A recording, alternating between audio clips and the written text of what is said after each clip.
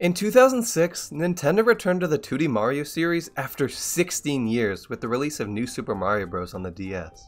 Fast forward 3 years to 2009, and they did it again, this time on the Wii, incorporating a bunch of new ideas and even adding 4 player couch co op. And then in 2012, they did it again, twice. Nintendo released two new Super Mario Bros. games in the same year. The first was New Super Mario Bros. 2 for the 3DS, which I've already covered in another video, and the other game that followed only a few months after that is the topic of today's video. Nintendo's main launch title for the Wii U, very appropriately named New Super Mario Bros. U. This game isn't one I often see people look back on that positively, despite it selling pretty well on the Wii U and even better on the Switch. So just like I did with New Super Mario Bros. 2 a while back, in this video I'm going to be answering one simple question. Is New Super Mario Bros. U bad? Initially released on November 18th, 2012 as a launch title for the Wii U, and then re-released as a port on January 11th, 2019 for the Nintendo Switch, New Super Mario Bros. U is the fourth entry in the New Super Mario Bros. series. Development for this game started right after the release of New Super Mario Bros. Wii and spanned about three years. The first we ever heard of this game's existence was at E3 2011, where it was available as one of the many playable Wii U tech demos meant to show off the gamepad's functionality, at this E3 event though, the game was weirdly titled New Super Mario Bros. Mii, instead of the name we all know it as today, most likely because of the many Miis present in the demo. However, a year later at E3 2012, the game was fully revealed, now with its final name, New Super Mario Bros. U. The opening for this game starts off just like any other. Mario, Luigi, and some friends are enjoying a meal, but as you probably expected, are rudely interrupted by Bowser and his giant hand thing. Now, where most Mario games would see Bowser using this hand to grab Peach and escape back to his fiery kingdom, New Super Mario Bros. U shakes things up a little, something this series desperately needed. And instead of kidnapping Peach, Bowser instead grabs Mario and friends, hurling them miles away from the Mushroom Kingdom, hoping to never see them again. This change of pace is amazing. It always annoyed me how every new Super Mario Bros. game up to this point always had you start in the Mushroom Kingdom. It was one of the things that made these games blend in at times. But this change isn't without flaw. Despite Bowser throwing them far away from the grassy plains of the Mushroom Kingdom, opening up the possibility to start in a completely new environment, the game has you instead land in another grassy plain, an area referred to as Acorn Plains. I would have absolutely loved if this game started in say a mountain world or ice world or just anything that isn't Acorn Plains, as it would have been something fresh and unique. But I guess not starting in the Mushroom Kingdom is a plus. While on the topic of worlds though, New Super Mario Bros. U returns to an idea we haven't seen since Super Mario World and connects all 8 worlds together, creating a giant world map allowing the player to travel to each world seamlessly. This has always been one of my favorite things about the game. It's so nice to zoom out and see where you are in proportion to everything else, but also where you're going next if you're playing the game for the first time. And while this idea isn't executed perfectly, with the change from Desert World to Snow World being very jarring, a lot of them are done very well and overall make the world feel lively and connected. I mean, just look at a fully zoomed out version of the map. You can spot so many little details and secrets spread all throughout. It's incredible. One of the absolute best new additions with this connected map though, has to be the secret exits. In previous New Super Mario Bros. games, a lot of secret exits would lead to cannons. These cannons would allow you to skip entire worlds with relative ease. However, in this game, cannons are completely removed with secret exits now unlocking paths that lead to the new world, and along the way forcing you to tackle a level relative to the area you're in to show your skills and prove you're ready for the next world. For example, the secret exit in 1-2 brings you to World 5. However, to make your way there, you pass around World 4, the beach world. And to prove you can survive in World 5, you have to take on a World 4 themed level, which is just so cool. But enough about the world map. Let's get into the bulk of what matters in a 2D Mario game. The levels. Starting off with the first level, it's okay, but out of every single new Super Mario Bros. opening level, this has gotta be the most forgettable to me. It introduces the new power-up of the game, the Super Acorn, pretty well, but it doesn't have that distinct thing that all the others have. DS had the Mega Mushroom section that let you destroy huge parts of the level. Wii had those spinning hills with secret pipes inside. And New Super Mario Bros. 2 had the music blocks and those colorful Mario 3 inspired blocks. All New Super Mario Bros. U has is, uh, squirrels? The first level of a 2D Mario game should have something memorable in it. Something that should at least make you go, oh this is cool. But instead all we got here is some flying squirrels and Goombas. This is really unfortunate because the game genuinely has a ton of good levels throughout its runtime, some of the absolute best being Layer Cake Desert Dash 5, Dry Desert Mushrooms. This level is entirely based around the spike enemies. They're placed high above you, and you have to make your way through the level constantly avoiding them, and trying to determine when they'll drop their spiky rocks so that you can make it through unharmed. Later in the level, the spikes are atop these extending and retracting mushrooms that allow them to drop rocks even more randomly. The end of the level has a ton of them above you at once, forcing you to be very precise about your movement.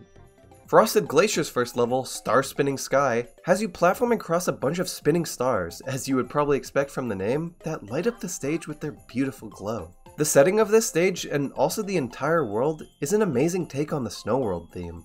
These levels take place at night in a snowy mountain setting with the backgrounds filled with bright stars and tall trees. The end of the level makes great use of munchers, encouraging you to platform safely across the stars without falling. However, if you look around and find a secret area, you can get a star that lets you effortlessly cross the munchers without a problem as a reward for exploring the level well. Sparkling Waters has this haunted ghost ship level that I absolutely adore. Not only is the idea extremely unique, it's executed insanely well. You have the underwater section that sees you avoiding groups of boos, a pole jumping section where you have to land on a variety of floating boxes, and a maze at the end of the level that's filled with secrets. Levels like these give me hope for 2D Mario. There's a lot of potential for greatness in the series. The end of the level also has this amazing backdrop, showing a full 3D model of the haunted shipwreck with this gloomy lighting. I love it. This level also has a secret exit, and this secret exit leads you to one of the coolest levels in the game, Skyward Stalk. This level is not only amazing because of its unique idea, but also how it correlates to the secret exit. The world map shows a huge beanstalk that leads high up into Meringue Clouds, which is exactly what you do in the level. Climb up a giant beanstalk into the clouds. I wish more levels in this game did something similar to this. It makes great use of the world map. And the level itself is great. Usually auto-scrollers are very lame and slow, but this one is actually fun. And I mean, who couldn't love these little balloon Goombas? But by far out of every level in this game, the absolute best has to be Soda Jungle's Painted Swampland. The level has an entirely new art style that's inspired by the famous Starry Night painting by Vincent van Gogh. I absolutely love this. There's so much character present in just the graphics of this level alone. The entire time I play this, I'm always looking at the background and just appreciating how well it's done. Could you imagine an entire world based on this style? It would be nothing short of incredible.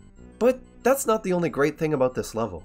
In order to progress through the game, you have to find this stage's secret exit, as the regular exit literally just leads nowhere.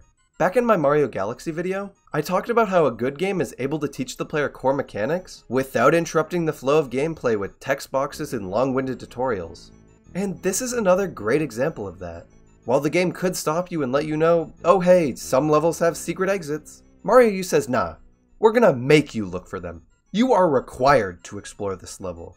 This level is just so good in so many different ways. So yeah, overall, a lot of the levels in the game are great. But you know what's even better? Yoshi.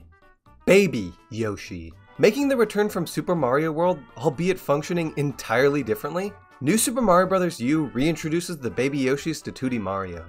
Originally in Super Mario World, the Baby Yoshis were nothing more than the name implies.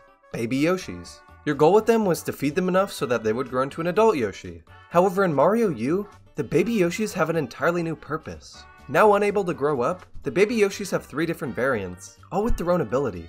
The Balloon Baby Yoshi, first found in Acorn Plains, offers, well, a balloon power, expanding into a giant Big Yoshi when you shake the controller, allowing for a lot of vertical movement options. The Bubble Baby Yoshi, first found in Frosted Glacier, creates a bunch of bubbles when you shake the controller. These bubbles will instantly defeat any enemy they touch, offering coins and occasionally 1-ups to the player. You can also gain a little bit of height if you jump off these bubbles, but not much. The last and final Baby Yoshi, the glowing Baby Yoshi, uh, glows. That, that's all it does. Unlike Yoshi, you can actually take these Baby Yoshis into different levels and use their abilities throughout the entire game. Well, except the glowing one. Y you can't take that one out of levels, sadly. Although it's really unfortunate regular Yoshi still can't be taken out of levels, I love being able to take these little guys across the entire game. It adds a lot of strategy to how the player will approach certain levels. The only levels you can't take these guys into are castle levels, which makes sense. It might be a little overpowered to be able to turn Boom Boom and the Koopalings into a bubble at the shake of a controller. Oh yeah, Boom Boom and the Koopalings are back. Boom Boom, now making his first appearance in 2D Mario since Super Mario Bros. 3, acts as the mid-castle boss for most of the worlds throughout the game. Your first battle with him is simple enough. However, over the course of each and every world, he becomes stronger and stronger, with Kamek giving him more ways of attacking you. I would love to say this makes his fights more interesting, but they really don't. Once you hit Boom Boom down once, you've practically won the fight, as you can just jump on him right when he gets back up another two times to finish him off. I think his fights would have been leagues more interesting if he had invincibility frames when getting up, as he might actually pose a threat that way. All in all though, I was glad to see him return. He's much better than fighting the Koopalings twice per world like in New Super Mario Bros. Wii, and a lot better than the Rhinos from New Super Mario Bros. 2. The Koopalings, now making their third appearance in the New Super Mario Bros. series, are actually done extremely well this time. Their castle levels are a lot better, with Ludwig's being my personal favorite, and the fights themselves are the best Koopalings fights in 2D Mario. Instead of just fighting them in a room at the end of the castle, each Koopaling has their own ship now that you shoot into at the end of every castle level to fight them. These ships also change depending on the character, which is something I love. It makes the Koopalings feel more distinct and shows actual character, even if it is incredibly minor. Lemmy's fight is the first and easily the most simple. His ship doesn't have anything fancy and he just kind of throws bombs at you. However, other Koopalings fights get a bit more interesting. In World 2, Morton summons a giant Pokey and hits parts of it at the player. In World 3, Wendy has an ice rink in her ship with icicles that fall from the top as the fight goes on. In World 6 and 7, Roy and Ludwig have fights that take place on top of their ship. With Roy summoning platforms and shooting bullet bills, and Ludwig creating clones of himself to try and trick the player. I absolutely love how unique these fights are. They incorporate parts of the Koopalings characters into the fight, and also make the setting completely new and creative for the series. These fights do not get nearly enough credit. I loved them. And while on the topic of things in this game that didn't get nearly enough credit, we have the challenge mode. Challenge mode is a side mode separate from the main game that sees you, well, doing a variety of challenges. In the Wii U version, there are five categories of challenges. Time attack, coin collection, one-up rally, special, and boost mode. The Nintendo Switch port of the game straight up removed the boost mode challenges as they were meant to be played with the Wii U gamepad. But you aren't really missing much if you don't own the Wii U version. I never hear people talking about the challenges in this game anymore, which is a real shame, because they are absolutely one of the best things this game has to offer. Most of the challenges take tons of pre-existing stages in the game and add incredibly fun new clear conditions to them. For example, one of the special category challenges takes place in the first level of Soda Jungle, and to complete the challenge, you have to make use of the Super Acorn and clear the entire level without touching the ground. Something I literally never thought would be possible when I played the stage in the base game. Another special challenge, Big Air at Sundown, sees you making use of the Mini Mushroom, using it to clear the entirety of a snake block stage without touching the snake blocks. I absolutely love this challenge. You have to use the paratroopas and other enemies spread all throughout the level as landing pads. This challenge is not only extremely fun, but it demonstrates to the player one of the many ways the mini mushroom works incredibly seamlessly. As you progress through these challenges and complete and unlock more of them, they get harder and harder, forcing you to get an even better understanding of Mario's movement and how to best use it to your advantage. One of the harder challenges I was never able to beat as a kid was Larry's Groundless Battle. The challenge sees the player having to beat Larry Koopa's Koopaling fight without touching the ground at all, only being able to land on the water geysers that shoot up every so often. This challenge is incredibly difficult and is only a taste of how hard these challenges can get. Please try out this game's challenge mode if you never have, it's very much worth it. The other two side modes this game has to offer are Boost Rush and Coin Battle. I never really enjoyed either of these modes, but I'm still glad they're in the game. Boost Rush sees you journeying through different level packs, similar to Coin Rush and New Super Mario Bros. 2, with the screen scrolling faster the more coins you collect. Coin Battle is a co-op only mode where you, uh, battle for coins. I never really played this mode much as a kid because whenever I played the game with friends, we strictly stuck to the main game and pissed each other off by throwing each other off the stage. Overall though, I think the inclusion of three side modes is amazing. It adds a lot of stuff for the player to do outside of the base game, with the challenge mode being the absolute best mode the new Super Mario Bros. series has ever done. But returning back to the main game, we have without a doubt the best final world in 2D Mario history, Peach's Castle. Throughout the game, you see the castle slowly fade into the control of Bowser. First the flags are changed, then a storm is created around it, and then finally the storm fully consumes the castle, shrouding it from outside light. By the time you reach the castle, the place is absolutely ruined by Bowser. The water moat surrounding it has been replaced with lava, and all the toads have vanished from the place. It's so cool to see the castle like this, especially in a 2D Mario game. One of the coolest things they did here has to be the world map theme though. It's a sped up, more menacing, Bowser-like version of the Peach's Castle theme from Super Mario 64. Take a listen.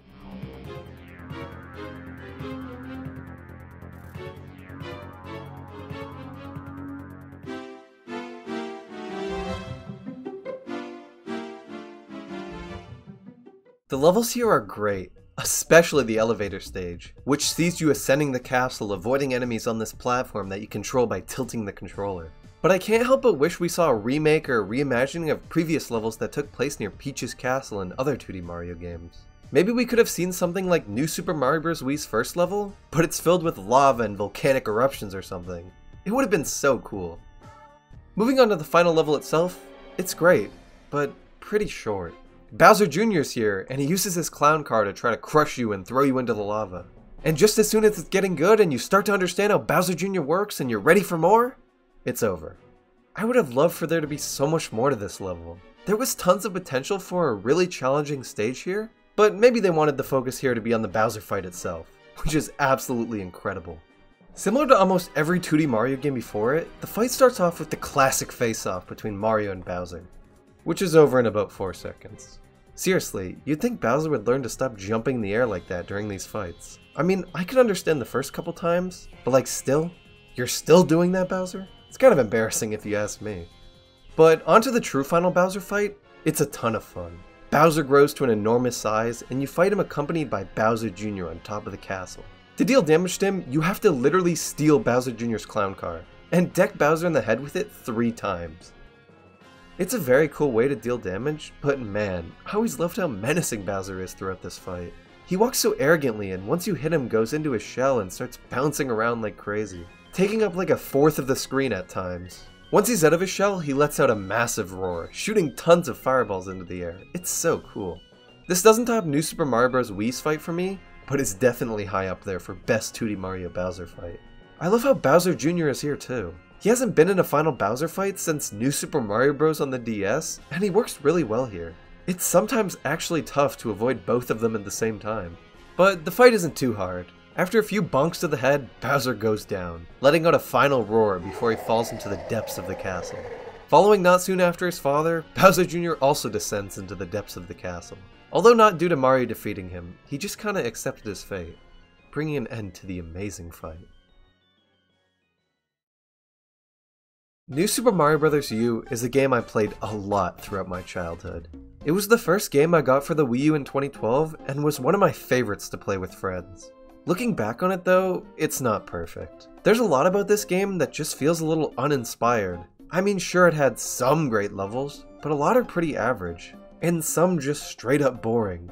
But amongst all the uninspired design choices, there's a lot to love about this game. The interconnected world map brings everything together and makes the world feel more lively. The Koopalings are handled extremely well and have actual good fights. The baby Yoshis are a fun new addition that adds strategy to the levels. The challenge mode is some of the most fun I've had with 2D Mario, and the final world and boss fight are masterfully well done. New Super Mario Bros. U may not be the best 2D Mario game, nor the best New Super Mario Bros. game, but there's no doubt I didn't enjoy my time with this game. So to answer the question posed at the very beginning of this video, is New Super Mario Bros. U bad? Absolutely not.